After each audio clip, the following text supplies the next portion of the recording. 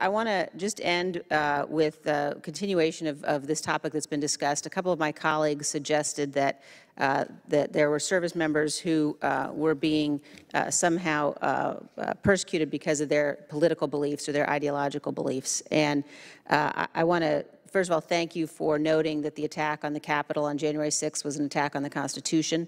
Uh, we do need to understand what happened. Uh, it was an attack provoked by the Commander-in-Chief. He could have immediately intervened to stop it, and he didn't. Uh, I think it's very important for us to recognize and understand uh, who was in the Capitol that day and why. Uh, and we have to protect the First Amendment rights of our service people, no doubt.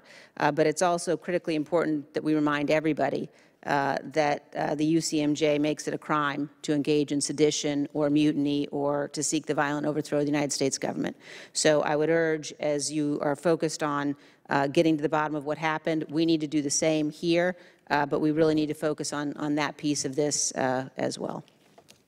And with that, I yield back.